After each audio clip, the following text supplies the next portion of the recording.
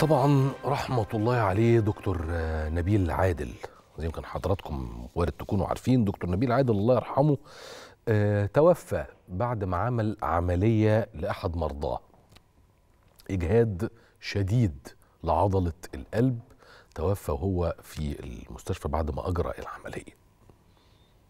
يعني سبحان الله العظيم الدكتور يعمل عملية ينقذ بيها حياة مريض وهو ينتقل إلى جوار ربه الله يرحمه يا رب طيب دكتور رمضان غالب رئيس قسم القلب في مستشفى أسوان الجامعي أهلا بيك يا دكتور أهلا بحضرتك يا يوسف. إزاي الصحة؟ حضرتك والسادة المشاهدين أهلا والله. تحياتنا ليك ويمكن خليني أقول لك إحنا يعني آه، نعزي أطباء مصر في زميلهم دكتور عادل وتوفي بسبب الإجهاد الشديد لعضلة القلب وفي الغالب أجهد نفسه كثيرا وهو يعمل على علاج وإنقاذ حياة مرضاه. طبعا يا فندم بداية يعني اتقدم بخالص العزاء لأسرة الزميل الدكتور نبيل عادل وكل زم- زملائنا في جامعة بنها شهيد الواجب أحد أفراد الجيش الأبيض.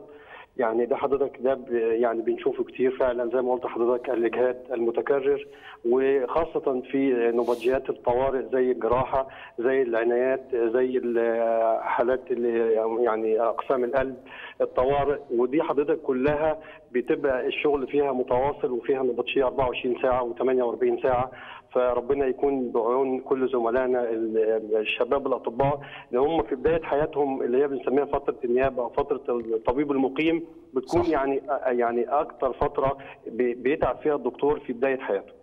طيب دكتور رمضان يمكن محتاجين من حضرتك نعرف يعني إيه إجهاد عضلة القلب إيه اللي بيسبب هذا الإجهاد إزاي نتلافاه؟ يعني واحد زي حالاتي يعني شرف على الخمسين فعايز أعرف برضو ربنا حضرتك الصحة. أستاذ يوسف هو حضرتك ال- ال- التعب موجود في كل ال- المهن وفي كل التخصصات والإجهاد المتكرر وكل ال- الحاجات دي موجودة في جميع المهن. يعني الطبيب ال- الضابط حضرتك أي إنسان بيجتهد في عمله بي- بيواصل الليل بالنهار زي ما بيقولوا. ولكن في حضرتك بعض الأشياء بتكون عندنا بنسميها أمراض كامنة. ما بتظهرش غير لما يكون في مثلا إجهاد شديد اللي إحنا بنقول عليه أحد عوامل خطورة المرض. يعني أنا حضرتك مريض عندي مرض كامن وابتديت أمارس رياضة عنيفة ابتديت أبذل مجهود جامد ممكن دي تحصل. وزي حضرتك ما بتشوف مش أطباء بس في بعض الرياضيين ممكن يحصل له صدم ديسك اللي هو بنقول عليه الموت المفاجئ. الموت المفاجئ. تمام كده. فده بيبقى إن إحنا حضرتك يعني دلوقتي أصبح دلوقتي في كل لعيبة الكورة حضرتك لازم في دكتور بيكتف عليهم باستمرار ويعمل رسم قلب ونشوف ده كله. في بعض المهن زي مهنتنا إحنا للأسف أطباء ممكن ما نعملش فحص غير لما أكون تعبان. في بعض الحاجات ممكن تحصل أنا خدت نبطشية 24 ساعة وحصل لي إغماء أو حصل لي إجهاد ممكن أقول ده أصل أنا ما نمتش أنا كذا. لا دي علامة من علامات إن أنا لازم أفحص القلب. لأن في بعض حضرتك الأمراض ما تظهرش زي حاجة اسمها متلازمة QT ودي بتظهر في رسم القلب فقط ودول بيكونوا المرضى دول طبيعي 100% وممكن فجأة يحصل له موت مفاجئ.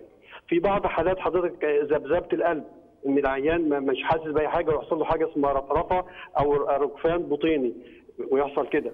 في بعض الناس حضرتك اللي بتاخد مشروبات زي مشروبات الطاقة بتعمل حاجة اسمها ذبذبة وزيادة في ضربات القلب وموت مفاجئ. زي ما حضرتك قبل كده اتكلمنا على أليكسون بتاع اللعيب اللي حصل مات في الملعب. آه. تمام أو حصل له يعني كده وتم. إنقاذه. في بعض العيوب الخلقية بتكون في الشرايين التاجية وممكن يجي واحد زي الشهيد آه، الدكتور نبيل ويجي له زي جلطة حاد يعني إحنا لو سمعنا البيان بتاع الجامعة قالوا إن هو نتيجة أزمة قلبية.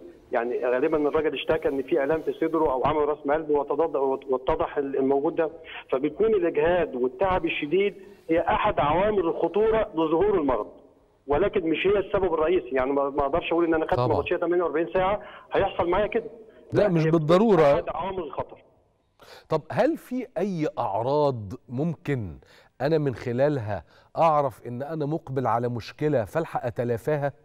تمام يا فندم زي ما قلت لحضرتك كده إن أنا مثلا بعد نبطشية وبعد إجهاد شديد أغمى عليا فقدت الوعي حتى لو ثواني.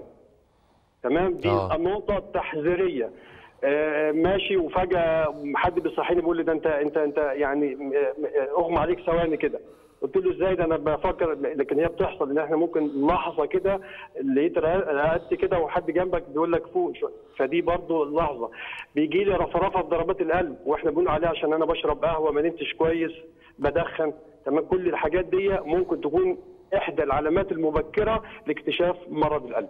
وخاصة في حضرتك في الشباب أو يعني بنقول عليه ما قبل سن الخمسين. ربنا يستر.